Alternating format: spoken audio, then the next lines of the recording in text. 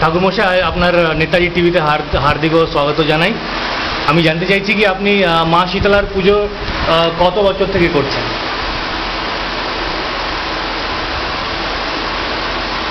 সঠিকভাবে তো দিন তারিখ বলা আমার পক্ষে বেশ কঠিন ব্যাপার হয়ে দাঁড়াবে।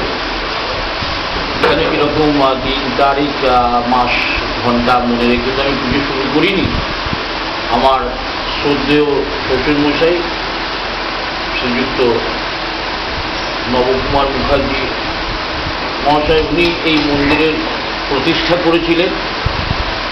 সাঁত্রিশ পল্লী তথা লেক গার্ডেন সন্নিহিত অঞ্চলে এটাই প্রাচীনতম মন্দির হিসেবে স্বীকৃত হয়ে আছে, যদিও এখনও পর্যন্ত কোনো ধরনের সরকারি নথিভুক্তকরণ এই মন্দিরের এখনও পর্যন্ত হয়ে ওঠেনি, সেরকম প্রয়াসও কেউ দেখাবার চেষ্টা করেননি। কিন্তু উনি যখন মানে আমার শ্বশুরমশাই শ্রীযুক্ত নবকুমার মুখার্জি তখন অসুস্থ হয়ে পড়লেন, শারীরিকভাবে খুবই অসুস্থ ছিলেন উনি, প্রচুর বয়সও হয়েছিল না। সেই সময় উনি যখন আমাকে বলেন যে পুজোর অংশগ্রহণ করতে বা পুজোর দায়ভার নিতে। সেই থেকে মা শীতলার আমি পুজো করছি। আনুমানিক পঁচিশ বছর তো হবে আচ্ছা কলকাতাতে সবসময় মা কালীর জন্য জানা যায়। আপনি মা শীতলার পুজোটাকে কীভাবে কীভাবে আর কেন আরম্ভ করলেন? ওই যে বললাম পুজো সংক্রান্ত ব্যাপারে ব্রাহ্মণ বংশীয় বা সন্তান হিসেবে পুজো পাঠ করবার একটা প্রারম্ভিক শিক্ষা বইতে নেওয়ার পর থেকেই পেয়েছিলাম। কিন্তু পরবর্তী জীবনে এসে পুজো করবারটাকে, পুজো করাটাকে মানসিক শান্তি হিসেবেই চিহ্নিত করার জন্য এই পুজোটাকে আমি গ্রহণ করেছি এবং আমার মনে হয়, আমার বিশ্বাস, মা শীতলা শান্তির একটা প্রতীকী এই মন্দির বিশেষ ব্যাপারটা কি আছে?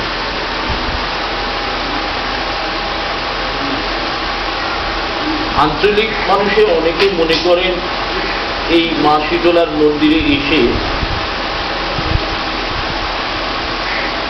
তারা মানসিক শান্তির একটা সূত্র খুঁজে পান। সেই কারণেই অনেকে এই মন্দিরে আসেন। আবার অনেকে এটা বলেও থাকেন যে বিভিন্ন ধরনের কাজকর্মের সুফল নাকি তারা এই মন্দিরে মায়ের কাছে প্রার্থনা করতে এসে পান।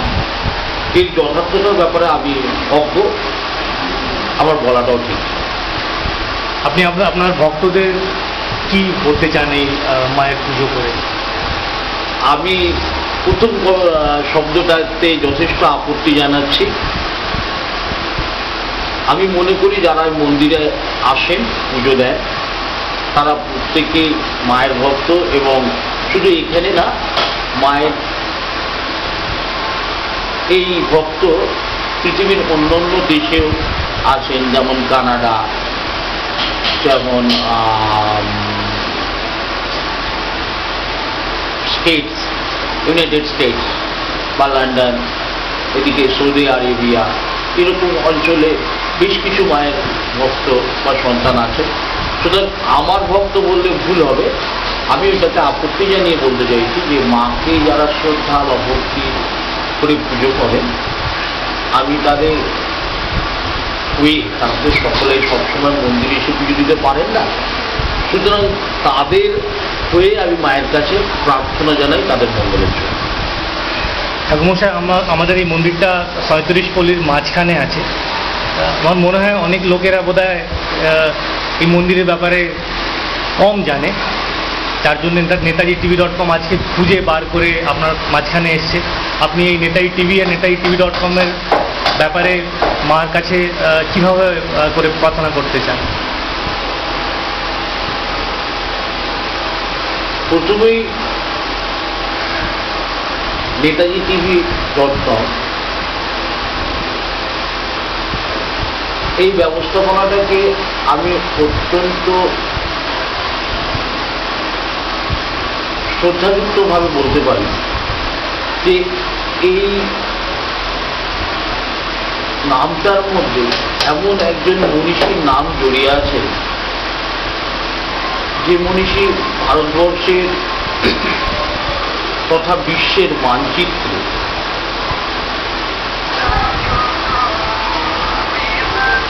অত্যন্ত প্রভাবশালী নাম এবং নেতাজি ভারতীয় জাতীয় জীবনের শুধু অনুপ্রেরণা নয় তিনি ভারতীয় জাতীয় জীবনের বিশেষ অংশ। স্বাধীনতা সংগ্রামের একটা বিশাল অংশ জুড়ে নেতাজি সুভাষচন্দ্র বসু অবদান অনস্বীকার্য। সুতরাং আমি মনে করি উত্তরোত্তর এই নেতাজি ডট কম এর উত্তরোত্তর শিবিরটি হোক আমার অবশ্যই প্রার্থনা থাকবে মায়ের কাছে। এরা এদের কাজে সৎ এবং সাবলীল দৃষ্টিভঙ্গি দিয়ে সুস্থ সাংবাদিকতার লক্ষণ দেখা ঠাকুমশাই মা শীতলার কিছু বিশেষ গুণের ব্যাপারে আপনি লোকেদের একটু জানাবেন মায়ের আশীর্বাদ কীভাবে পাওয়া যায়? কোন মন্ত্র মা বেশি পছন্দ করে? যদিও মা শীতলা সম্পর্কে যে কাহিনীগুলো প্রচারিত বা প্রচলিত আছে তার মূল ভিত্তিটা অবশ্যই আমাদের দুর্গাকে অবহেলা করে নয়। এবং সেক্ষেত্রে যে মন্ত্র দ্বারা আমি দীর্ঘদিন যাবৎ করেছি, পুজো অর্চনা করেছি তাতে যেমন মা শীতলার ধ্যান মন্ত্র পূজা মন্ত্র আছে, সঙ্গে সঙ্গে আমি শক্তির মূল শক্তির মূল আধার কিছু মন্ত্র, মানুষকে প্রত্যহ পাঠ করবার জন্য আবেদন জানায় এই মন্ত্র পাঠ করার পরে তারা যে ধনৈশ্বর্যশালী হয়ে উঠবে এই ব্যাপারে আমি নিশ্চিত নই। কিন্তু শারীরিক, মানসিক এই দুটি অবস্থানের মধ্যে তারা যথেষ্ট সক্রিয় থাকবে, এই ব্যাপারে অত্যন্ত সুনিশ্চিত। আর আমার বিশ্বাস, শারীরিক এবং মানসিক সুস্থতা মানুষকে শিক্ষা, সম্পদ এবং উন্নয়নের মার্গ দেয়।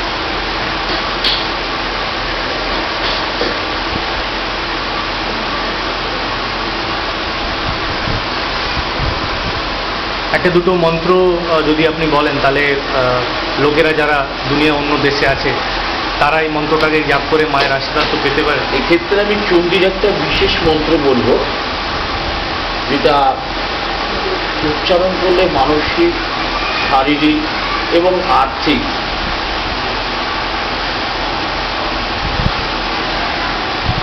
বলা যেতে পারে এক কথায় সর্বাঙ্গীন কুশলতার জন্য কিন্তু এই মন্ত্রটা অত্যন্ত কার্যকরী বলে আমার বিশ্বাস। মন্ত্রটি চণ্ডীর একটা চণ্ডীর স্তোত্র সূত্র থেকে বলা যেতে পারে, দেহি সৌভাগ্যম আরোগ্যম, দেহি দেবী পরম শুভম, রূপম দেহি জয়ং দেহি, যশো দেহি, দিশো দেহি।